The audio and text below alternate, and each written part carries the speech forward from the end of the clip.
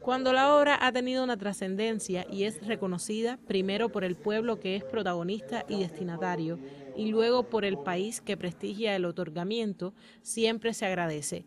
Irán Millán Cuétara, conservador de la ciudad, ha destacado por su consagración al cuidado del tesoro patrimonial de la Perla del Sur. Y lo bonito que cuando uno te felicita, te está felicitando al equipo de trabajo, a la gente que te ha hecho posible que tú tal vez los representes.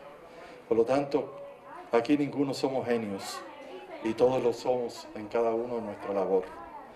Por lo tanto, sigamos construyendo este sueño maravilloso que es Cienfuegos su cultura. Por lo tanto, cada uno de nosotros construyamos nuestro, nuestra imagen, que eso no te lo regala nadie. Hay que ser honesto, transparente. Morirse por esta revolución, porque sin ella no hubiésemos podido llegar a donde hemos llegado. El Consejo Provincial de Artes Plásticas celebró el título honorífico entregado a quien ha dedicado su vida a resaltar la necesidad de conocer de dónde venimos y qué somos, una premisa que tiene como objetivo proyectarnos hacia el futuro. Nos sentimos tan confiados cuando tenemos gente fieles y gente profesionales al lado nuestro. Y eso se va consolidando día a día, eso no es de gratis.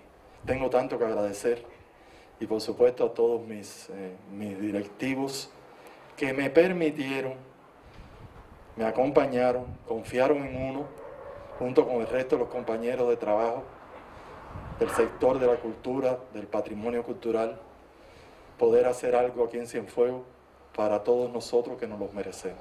Agradecimientos que acompañan una vida de trabajo que lo han hecho merecedor de su condición de hijo ilustre de esta ciudad y recientemente héroe del trabajo de la República de Cuba. Alien Armas Enríquez, Notisur.